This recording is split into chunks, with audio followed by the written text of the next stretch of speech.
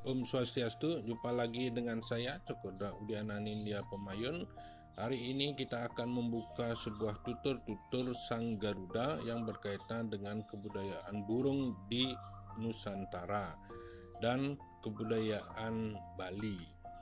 Dalam video ini akan ditampilkan beberapa bentuk rupa baik itu pahatan, gambar, dan ritus dan situs yang berkaitan dengan Sang Garuda dalam sebuah kebudayaan. Baik, simaklah tutur-tutur Sang Garuda berikut ini. Saya mengawali tutur-tutur Garuda ini di Candi Sukuh, Karanganyar di daerah Jawa. Nah, dari sini saya akan mulai sebuah tutur-tutur sang Garuda ini ada apa tentang Garuda dan apa bentuk-bentuk yang ada tentang Garuda ini kita akan mulai melangkah diawali dengan Candi Sukuh. Di Candi Sukuh ini saya melihat beberapa motif pahatan Garuda dari berbagai bentuk. Di sebelah kiri dan kanan saya ada bentukan sebuah patung Garuda kurang lebih tingginya 170 cm. Patung Garuda di sebelah kiri kanan saya ini terbuat dari bahan batu dengan bentukan yang sangat sederhana.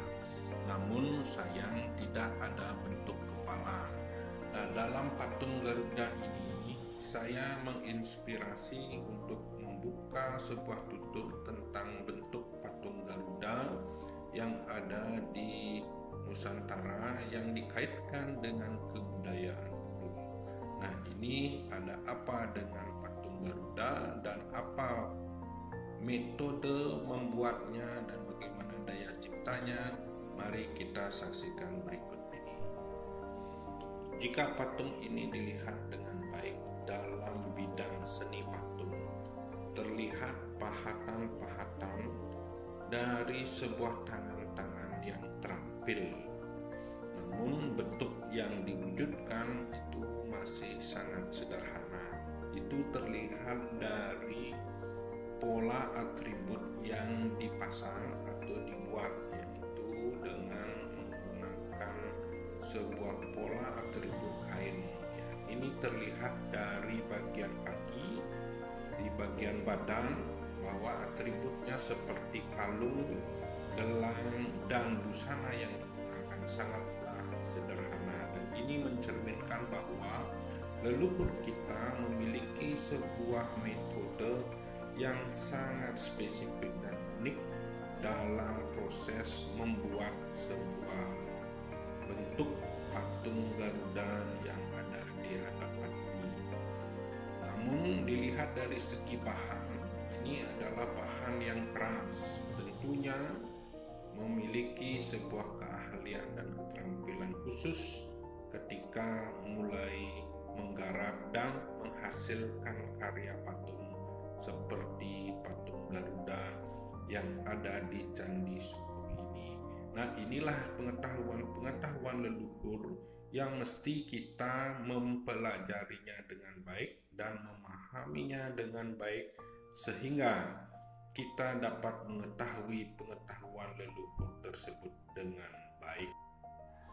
Berkaitan dengan pengetahuan-pengetahuan yang dimiliki oleh leluhur kita zaman dahulu, seperti bagaimana metode batu ini sampai di puncak gunung ini atau di candi ini kemudian bagaimana metode mengangkatnya kemudian bagaimana metode memilihnya dan apa ide-ide dasar yang terpendam di dalam sebuah patung Garuda ini.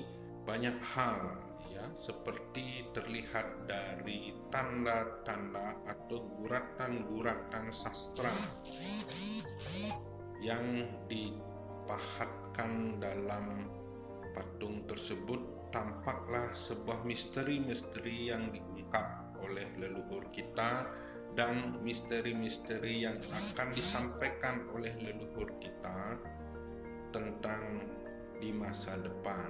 Nah, inilah sebuah pengetahuan yang mestinya kita sebagai generasi di bidang seni patung mempelajari dan dan memahaminya dengan baik.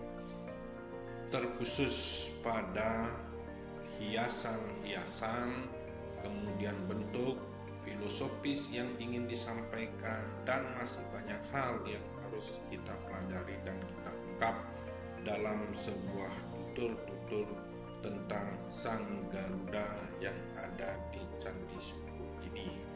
Nah, saya selaku selaku dosen di Institut Seni Indonesia Denpasar dalam studi lapangan ini hanya membidangi seni patung, melihat dan memahaminya sesuai dengan pengetahuan dan bidang ilmu saya. Nah, inilah yang harus kita kembangkan dan kita pelajari.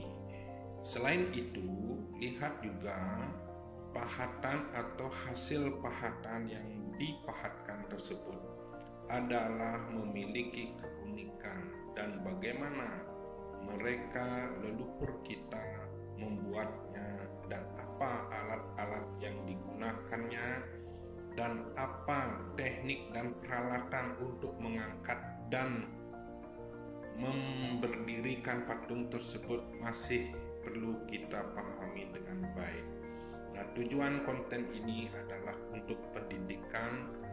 bidang seni patung sehingga tutur-tutur berkaitan dengan topik Garuda dapat dipahami secara mendalam dan secara detail dan kita memahami ide besar dan filosofis yang tersirat di balik yang tersurat dalam patung Garuda ini yang saya sampaikan sebagai bentuk tutur-tutur Sang Garuda.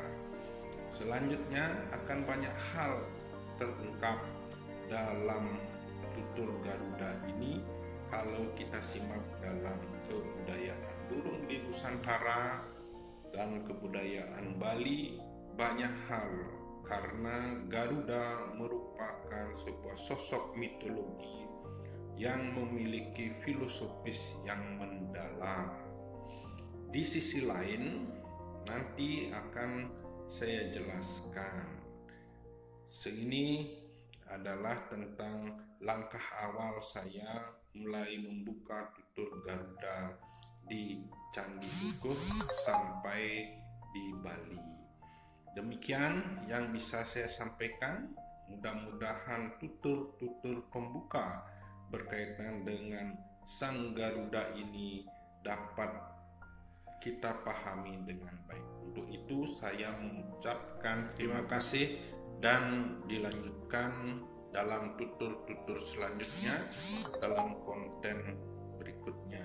Demikian yang bisa saya sampaikan dan saya ucapkan terima kasih. Sampai jumpa video selanjutnya.